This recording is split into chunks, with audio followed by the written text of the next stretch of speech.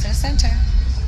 While I'm on my way to the center, I actually wanted to share with you guys an incident that happened at one of the New York shows. We had just hit intermission, and there was a gentleman um, that was sitting in my dressing room crying. He was crying as if, you know, maybe someone close to him had died. I mean, he was, uh, it was hard for him to breathe.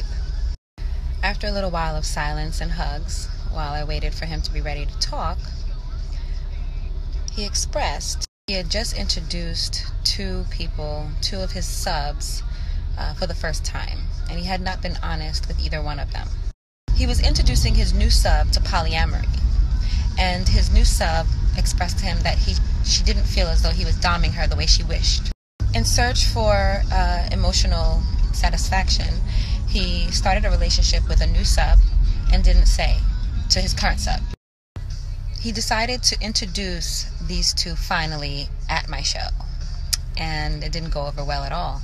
I can't stress to you guys enough how honesty and transparency is extremely important in polyamorous and BDSM relationships.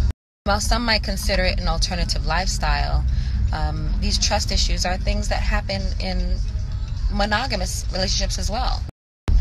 At the end of our session during my intermission, during the show, we came to the conclusion that he was more upset at himself for not being the Dom he wished. No matter what your relationship configuration, we're all susceptible. But the first idea, if you want to move forward, is to forgive yourself for what you thought you should have been. Because you're not going to be able to offer more to others if you don't. Forgiveness is for the forgiver first. Was a really interesting lesson for us that night. Looks like I'm here, so I'm about to go and see a client. I'll talk to you guys soon.